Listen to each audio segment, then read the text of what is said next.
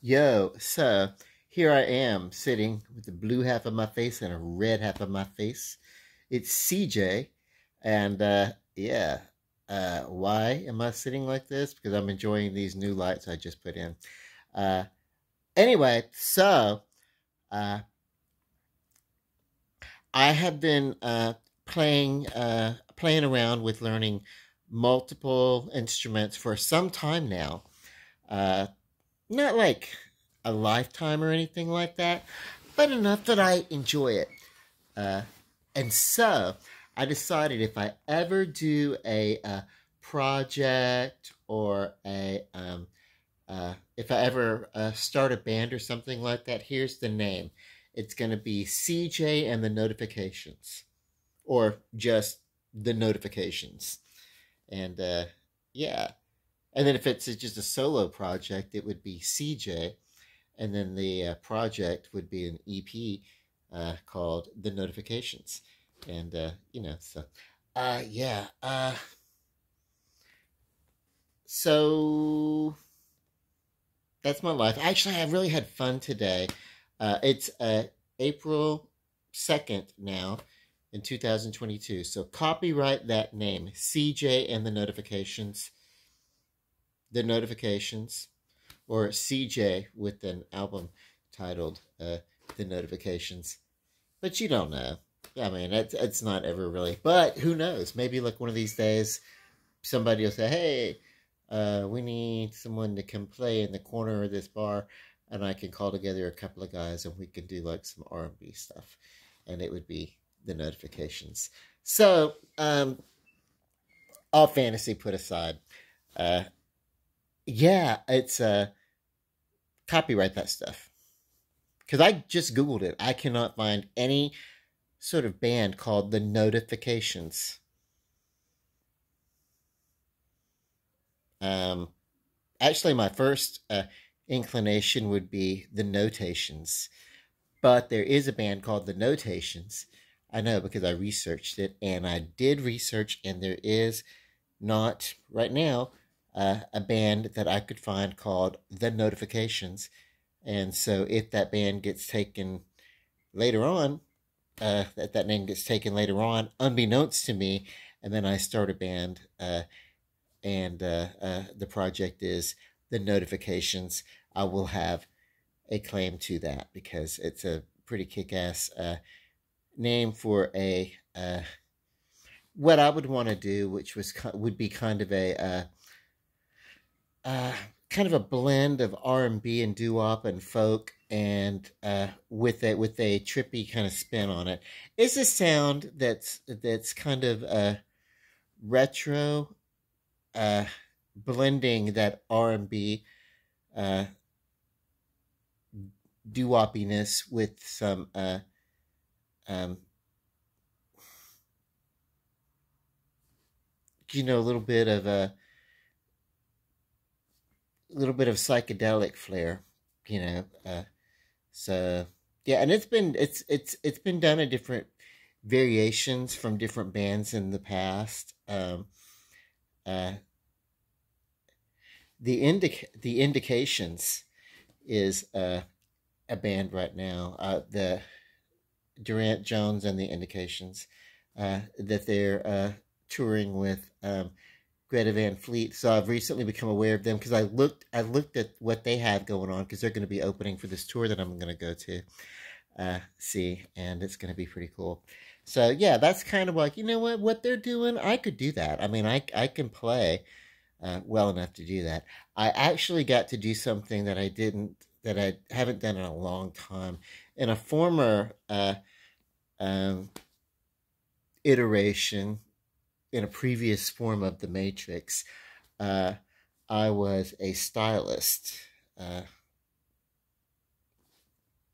I know it's hard to believe since you know this, but I, I was I was a uh, I was I was a great stylist. A stylist. I spent uh, many years to learn how to become really really good, and then uh, I mean I really didn't do a lot with it after that. I sort of got uh, to my to my summit of where I was, and then it was like you know uh, this industry is changing and my heart's not really in the industry anymore, so I don't necessarily want to keep pursuing this. And, uh,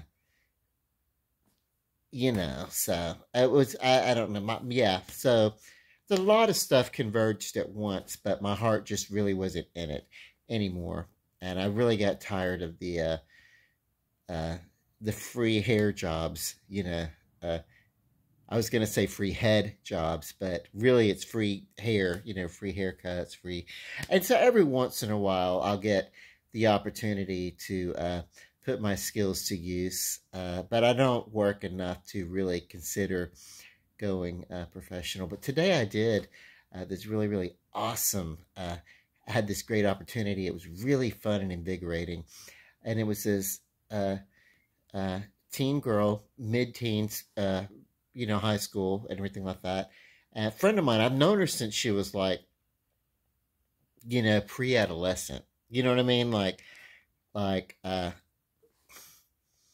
yeah, she she must have been about four years old when I first met her, four or five years old. This little girl. Anyway, beautiful tow-headed blonde child, you know, and I get to watch these kids grow up in my life and have fun, just being friends of the family, and and uh, it's kind of cool, you know. So so basically, I've known her almost her entire life.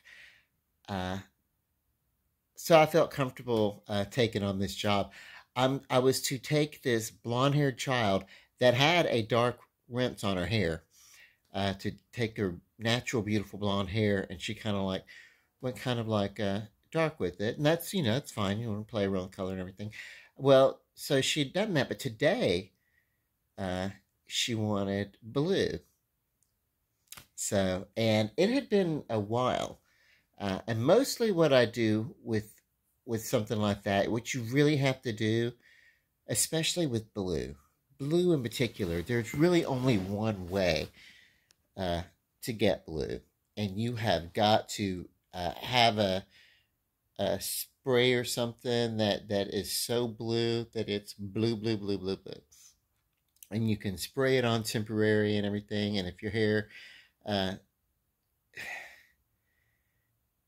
isn't too dark. It'll kind of show up or whatever. But the best thing to do is to, for me, is to totally lighten the hair. Now, this was uh, a child. Well, she wasn't a child. I still think of her as a child. She's, uh, she's about 16 years old, I guess, or 15, whatever. I don't know. But anyway, you have to take the, uh, the artificial color that she had on had to had to lighten that completely out of her hair and it's and in that process it opened up the uh, it opened up the uh, uh, the cuticle of, of the hair follicle, which is the outside of the hair, and you want to you want to you know it's very delicate. It's a very delicate situation. Uh, I I put her with a uh, lightener and we lightened it. I, I didn't have her go more than like 35 minutes with this lightener, and even then it was a bit uh, tough you know what I mean? Because as much as you try to, there's specks of this stuff that maybe as you're lifting and oxidizing through the hair, there's the occasional bit that maybe, especially in a home process, that may touch your scalp or whatever. And it's like I wanted to reduce that as much as possible. So, um, yeah. So I lightened her up, and then we put a permanent toner on her all over. But um, it, it didn't take entirely evenly. It did really, really well. But what happens with this is that even you're putting blue onto uh, golden yellow hair, you're going to get some sort of tealish, greenish color. You're not really going to get blue, blue, blue. But I was able to lay that foundation down. And there were there were parts of it. It was enough that I knew that yes, indeed, the next step was going to give me some blue. And what we decided to do was go back and get a more intense blue uh, from uh, my supplier, uh, uh and basically uh, we went with an intense uh, with an intense blue and an intense azure blue, and I put large amounts. I left no room for, uh, like I super saturated each hair follicle all the way through. and we left it on. Uh, it's a semi-permanent this time. Uh, semi-permanent on top of permanent equals nearly permanent. So what would be a, a 10-week process, maybe, uh, or maybe I should say a 20 shampoo process until it, you know, until it gradually fades, gradual gray. But with this, we took a semi-permanent process and we put it immediately over uh, a permanent process where the cuticles were still open and everything like that. And so that's kind of going to bond this and it's kind of make it, yes, it's still going to be a semi-permanent process, but it's going to last a lot longer so that maybe lasting the duration of like uh, a month of shampoos, maybe we'll get her through a, a month and a half to two months you know, so we can sort of reduce. And then from that, now that we've started, and I told her, if you want to keep this, that's fine. Um, and I will regularly be their their families. We we like for the heck of it. I enjoy doing it. It saves them money, and they can just throw whatever kind of uh, stuff at me they want to, or whatever, and that's fine. Uh, so what I decide, you know, is the the arrangement is this, you know, yeah. Uh, you know, I'm not I'm not gonna be. I'm uh, for one thing, I'm not licensed, so I'm not actually charging money, but like, hey, if you want to gift me things, you know, uh, you know, that's cool too, you know, for the time, not for the service, but for the time. Uh, that's cool. But I enjoy doing it and I enjoy spending time and everything. But I think the money part is a good boundary so that it keeps me from feeling like I'm always on call because this is a family that has like, uh, you know, the father, uh, uh, the wife, and then uh, three teenage children. Uh, there's a mother-in-law, and then there is a uh, uh, uh, there's another relative that's with them sometimes or whatever, or whatever, and it's like there's enough of them that you know it'll, you know, periodically when I get when I when they want to do a little something creative, I don't mind doing it. You know, I, I really enjoy this. And because, you know, what I'm to, friends and family and stuff like that, it's like, you know, if I ever get around to doing enough hair where I could go back in business, sure. You know, then I would consider uh, uh, reobtaining uh, my license uh, uh, to practice. Uh, although at first it would have to be a, a you know, a, a, student license, then I'd have to go through all the channels. But still, uh, or a learner's license or whatever, whatever, whatever it is in your state. But, but for the most part, just right now, it's just, you know, I, I'll accept the money because it keeps me from being like, how I felt like maybe like, uh, I want to say 20 years ago when I when I was really heavily into it, and I spent a lot of time, uh, and and a lot of money, and I invested a lot of. Um, I actually uh, prolonged my my school, uh, so that I could get more access to the education part of it.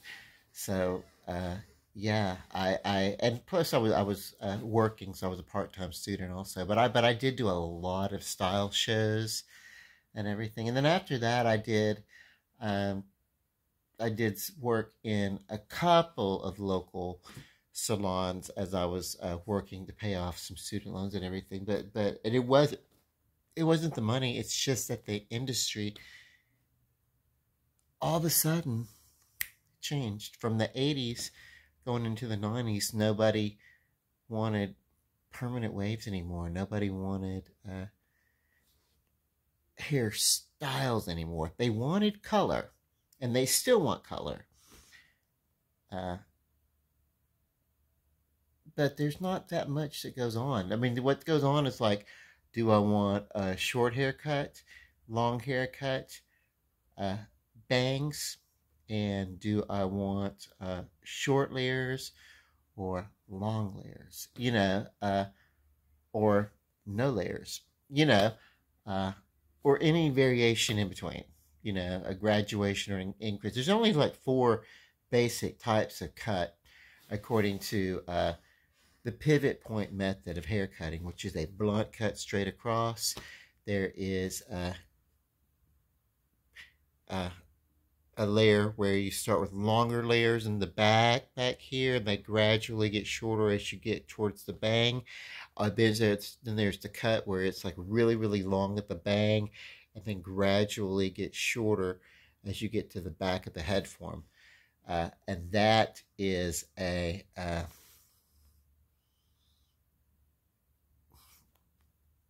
it's a it's a uh, the first is called a, a uh, graduation uh, and the second one would be kind of like an increased layer where the where the layers just kind of like increasingly get longer as you move back away from from the from the bangs. So it's like uh yeah, so the graduation you're diagonal forward or which is kind of like where it starts short and it's either a diagonal cut or kind of rounded and gets gradually longer going towards the bangs. Uh, anything like that, those are the the the emo cuts, the uh, when you when you're an emo and you grow up, but you still have a sassy attitude and you want to speak to the manager. That so sometimes it's yeah, basically when you have my attitude. Uh, you know, then then those are your those are your uh, you know your stack bob cuts with with some layers that kind of get longer going towards the front and everything like that. There's variations on it, but there's really only four haircuts four basic haircuts, and all other haircuts are blends of that in between. And uh, so this this this young woman, she's beginning to become a young woman, uh, wanted a, a a blue, a true blue hair color. Uh, and overall, it came out maybe just a shade or so darker than the lighter blue but because of the uh, semi permanence of this process, within a week, uh, you know, uh, of a good uh, soapy shampoo, it's going to be right where she wants it to be. And it will stay there for approximately two weeks, give or take, gradually getting lighter. And then, uh, and then when it's time for touch ups, they'll call me over for things like that. Uh, and I, I, I, I, I just really enjoy it. Uh, that was oh my god! I haven't actually been a, a, a an official stylist stylist uh, uh, since my twenties, and um, well, let's just say uh, if I say it was a lifetime ago, it was a lifetime ago. Uh, why I'm sitting in dim lighting now, you know. So, um, yeah, uh, it was cool. It was cool. Um, did I already talk about my band name, The Indications? Yes. Yes. I'm, I'm blessed to have, uh, to be able to look forward to this month. I'm going to see, I'm a new awakening for uh, guitar music. Uh, so, and I prefer heavier, harder music. But if there's like a slow, uh, mellow vibe, or if there's even just a jangle vibe, you know, jangle music kind of was inspired by Bob Dylan's, uh, or or the Byrds version of Bob Dylan's music. Uh, hey, Mr. Tam- Tambourine Man, you know, jangle, jangle. In the jingle, jangle world, I come following. You know, that kind of upbeat, upbeat but mellow. That's that's called the Django, the, the jangle music, uh, Django, jangle music, and uh, jingle, jingle. And then, so that's kind of a, uh, so, so anyway, so I've got that from uh, the Gin Blossoms. I'm going to go see those guys. And then, of course, I'm going to go see a classic, uh, classic rockers, Foreigner, uh, the week or so after that. And then the following, no, the following month, I get to go see uh, Dave Matthews, who's kind of got that jangle uh, appeal also with that whole, like, uh, maybe I don't know where he's based out of. Really, I should check it out. But he really kind of sort of has that uh, California folk rock vibe going on, uh, with uh, you know a lot of uh, wind instruments and things like that. So he's very, you know, he, he's he's one of those people that you really just can't peg, except for to say adult contemporary music. Uh, you know, he got he plays a lot in adult uh, contemporary charts and venues. Um, so, but the big one that I have so far, I we're I was talking with the buddy about going to the Austin City Limits Fair, but that's three hundred bucks a ticket. I just it is three days worth. It was it would definitely be worth it, but I, that's a lot of money, you know. And realistically, I uh, have to save. I, I don't I, I don't have just money to just pull out of thin air. I've got to like save for things like that. Um, so that's ten that's uh, tentative. And I, I told him, we'll see who's playing. We'll see who's playing. And when I know who's playing, then I'll be able to make some sort of uh, decision on that. Because $300 is like, dude, like that's something I, I would I could only do if someone bought the ticket and I paid them off like maybe like 50 75 bucks a month until it was paid off but i couldn't do just $300 all at one time. That's i know that's not an extreme amount of money but it is really.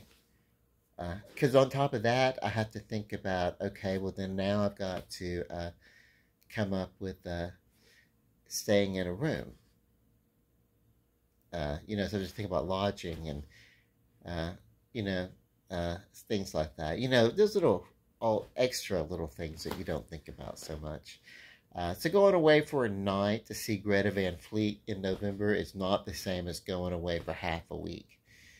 Uh, you know, uh, but I will consider it. I will consider it. We'll see who's playing. Do I want to make the sacrifice? I don't know.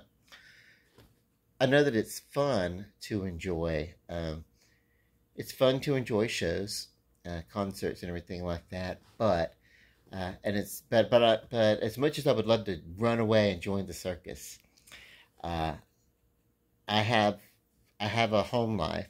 Uh, even if I'm here just at home and I live here by myself, this is essentially my little apartment, my little suite of, of rooms. But I live right down the street from my sister, and so we don't live in the same house, but we live close enough that that you know we're close and we're family, so I can't just like run off. My dad lives in town, my nephews and things like that. So I really appreciate, I really appreciate um, having a family. It'd be it'd be one thing if I didn't have a family, if I were so far removed from family. Um,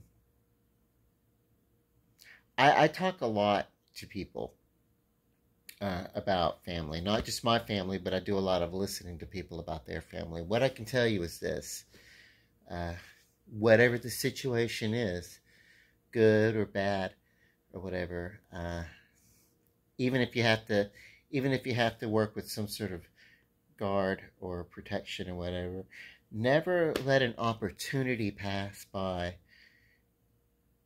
to make amends or restitution wherever or to accept amends or, restitution, even even if you have to keep those healthier, safer, I should say, uh, boundaries up. I don't I don't mean to be judgmental when I say healthier. I think there's there's a connotation that comes with that word sometimes that, that means what do you mean i'm unhealthy blah blah blah well you know sometimes uh, a person doesn't have to be unhealthy in order to be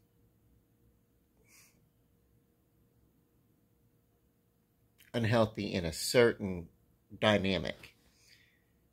To to a certain dynamic. That mean that mean that that mean that i'm unhealthy. It just means that the trigger that i bring to this particular dy- dynamic whether i mean to or not that can be if i can't adjust myself to that certain set of boundaries that can be triggering uh, for certain parties uh, but that's not to say that i am intentionally a trigger. You know what I mean? So it's you know what I mean. It's sometimes people have chemistry where they work well and they can they can uh, be neutralized and, and solvent, and then sometimes people can't. And uh, whenever they get together, they have to take caution not to be volatile, you know, or whatever. So, um, but wherever possible, and I know that it's not always possible, but wherever possible, if you have uh, the opportunity to bond uh, with family, do that because um, you, you know you may not uh, get the opportunity to do that. Uh, my dad tells me that all the time. He's like, one of these days you'll call and I'm not going to be here. And I'm like, oh, you know,